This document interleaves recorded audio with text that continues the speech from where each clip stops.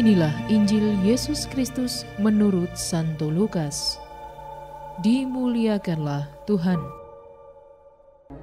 Tetapi sebelum semuanya itu, kamu akan ditangkap dan dianiaya. Kamu akan diserahkan ke rumah-rumah ibadat dan penjara-penjara. Dan kamu akan dihadapkan kepada raja-raja dan penguasa-penguasa oleh karena namaku. Hal itu akan menjadi kesempatan bagimu untuk bersaksi. Sebab itu tetapkanlah di dalam hatimu, supaya kamu jangan memikirkan lebih dahulu pembelaanmu. Sebab aku sendiri akan memberikan kepadamu kata-kata hikmat, sehingga kamu tidak dapat ditentang atau dibantah lawan-lawanmu. Dan kamu akan diserahkan juga oleh orang tuamu, saudara-saudaramu, kaum keluargamu, dan sahabat-sahabatmu, dan beberapa orang di antara kamu akan dibunuh, dan kamu akan dibenci semua orang oleh karena namaku.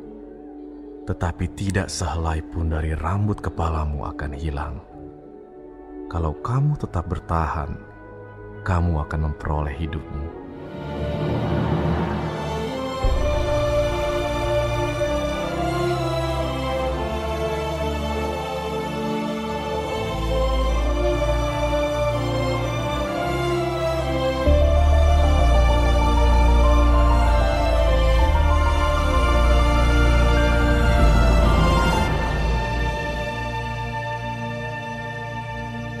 Demikianlah Injil Tuhan.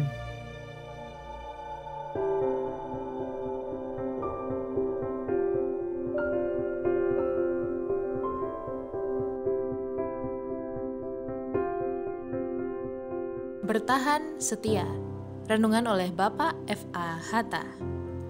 Sahabat Kafe Rohani, saya punya cerita. Malam itu, ketika pulang dari bepergian, saya melihat Andre kecil dan ibunya duduk menonton televisi. Sambil membuka pintu lemari es, saya melihat es teh yang tinggal separuh milik Andre ada di dalamnya. Lalu saya berkata, Loh, ini kok tehnya nggak dihabiskan? Lalu Andre menyahut dengan pendek, Enggak, sudah malam. Jawaban pendek itu seketika menghentikan tangan yang hendak menuang air es ke dalam gelas. Rasa haus sesudah bepergian Rasa ingin menghilangkan dahaga itu, perasaan terhenyak mendengar jawaban itu dan beberapa perasaan lainnya muncul bersamaan ketika mengingat kalimat ini. Kalau kamu tetap bertahan, kamu akan memperoleh hidupmu. Kalimat ini mengingatkan kita akan dua hari yang dirayakan gereja pada awal bulan ini. Hari raya semua orang kudus dan peringatan arwah semua orang beriman. Mereka menjadi bukti bahwa ada kehidupan kekal sesudah kehidupan dunia ini. Kehidupan kekal itu diperoleh kalau orang bertahan setia, selalu taat instruksi Allah. Harus diakui bahwa bertahan mengikuti perintah Allah itu seperti pengalaman di atas. Pulang, pergi, haus, ingin minum air dingin, tapi harus dibatalkan demi sesuatu yang lebih, yaitu sehat. Singkatnya, bertahan setia itu tidak selamanya enak dan mudah. Bahkan perihal yang tidak enak pun sudah dikatakan juga dalam bacaan hari ini ditangkap, dianiaya, dipenjara, dibenci, dan banyak lagi. Kadang beberapa berubah pikiran dari sikap setia. Hidup sekali kok mau dibuat susah. Semuanya dihadapkan pada kehendak bebas kita untuk memilih dan memutuskan. Bertahan dan memperoleh hidup atau tidak bertahan dan binasa. Ketahanan dalam kesetiaan hanya bisa dilihat dan diucapkan oleh orang lain. Semoga kita semua tetap yakin bahwa Allah memberikan kekuatan untuk bertahan setia – Allah sudah memberikan kekuatan itu, bukannya menghapuskan semua hal yang tidak enak. Kita harus bertahan setia untuk kehidupan kekal. Selamat menikmati menu hari ini.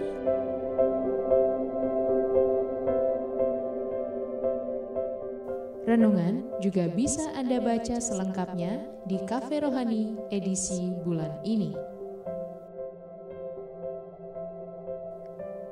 Dengarkan juga renungan ini di radio.karmelindomedia.com.